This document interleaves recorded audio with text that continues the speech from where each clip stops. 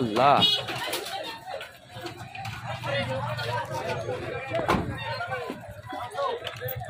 আল্লাহ। এই যে টাউনাল কাউতলায় এই যে পিক আসলে এই যে পার্কিং করা এখনও, এই পিক হঠাৎ করে এখানে ব্রেক করায় কিন্তু আসলে এই অটো রিক্সাটা একদম ব্রেক দিয়ে নেই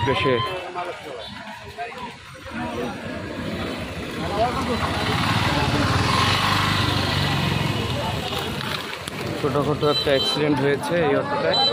অটোটায় যারা ছিল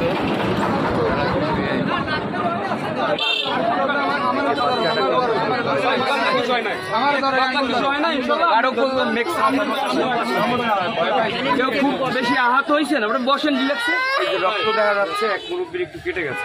বসেন এখানে। আর কি কি কয়জন আপনারা ছিলেন? অটোতে ছিলেন কয়জন? এই ফ্যামিলি সহ? বাইরে কেউ ছিল? আচ্ছা আগে একটু বসেন রিল্যাক্সে দেখেন কি ক্ষয়ক্ষতি হয়েছে। একটা রোড অ্যাক্সিডেন্ট আসলে এখানে উপস্থিত যারা রয়েছেন তারা কিন্তু তাদের দ্রুত উদ্ধার করে।